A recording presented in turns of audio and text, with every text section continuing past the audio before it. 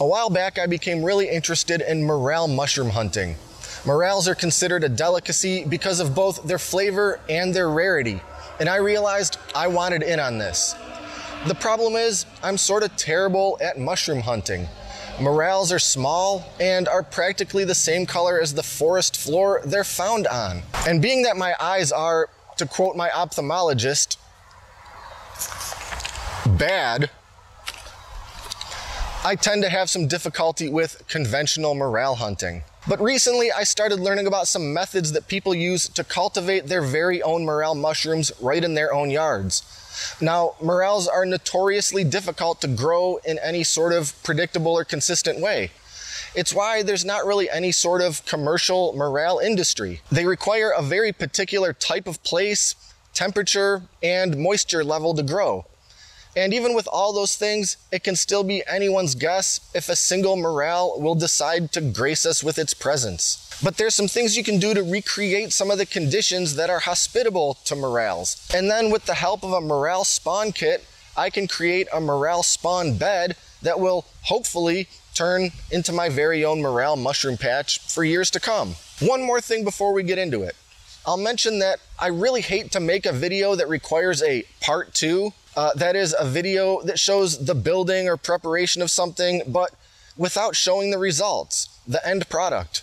But for this one, it's just not prudent to simply jump ahead in time at the end of this video and show you the end result for two reasons. One, if this works, it's going to be at least a year before I have a single mushroom, but it may be two or more years. And two, that's if it works. There are no guarantees in life, love, or morel growing. Anyway, enough of the preamble. In this video, I'm going to show you how I made my very own morel mushroom patch right here on my property.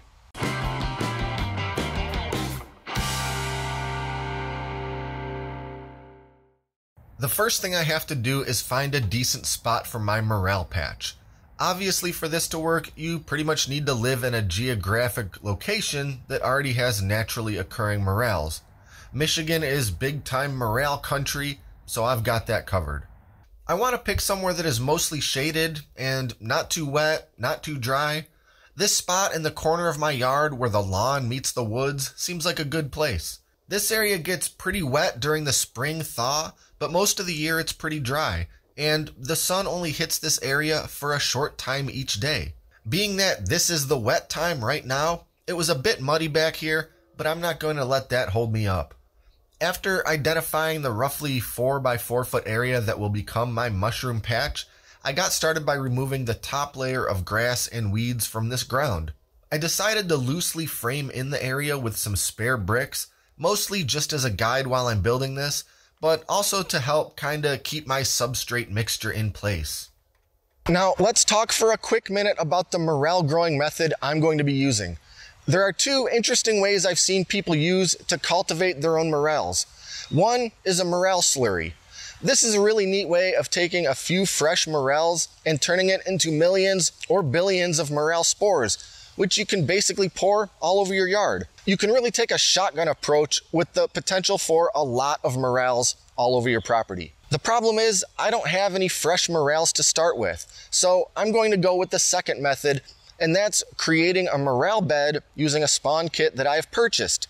This is a bit more of a targeted approach, but if my 4x4 foot bed successfully starts growing morels, those morels can shed spores all over the place and still potentially turn my property into Mushroom City.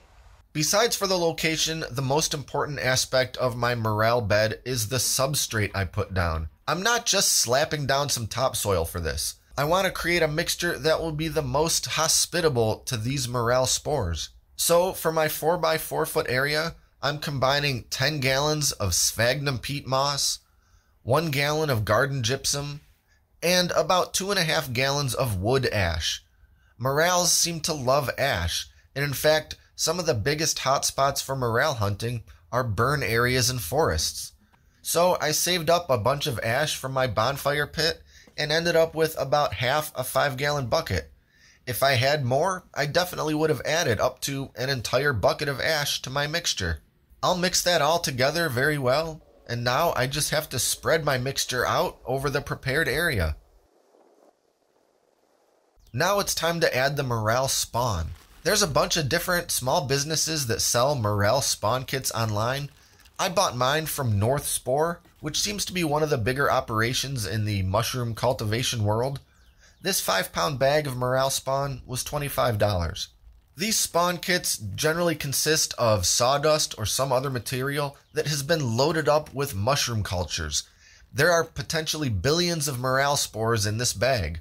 A kit this size is recommended for about a 4x4 foot area, which is exactly what I'm doing. I'll sprinkle and spread this spawn mix over the top of my bed as evenly as possible, and then very lightly rake it in to the top layer of that substrate.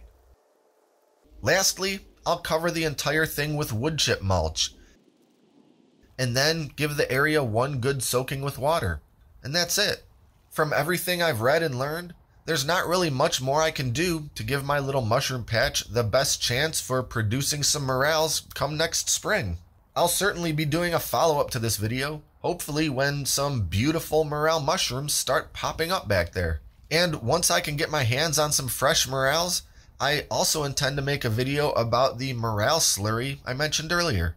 As for right now, that's about it.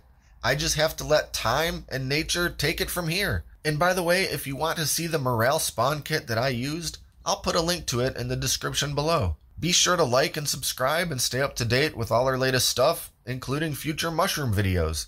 Thanks for watching, and until next time, this is Great Lakes Prepping.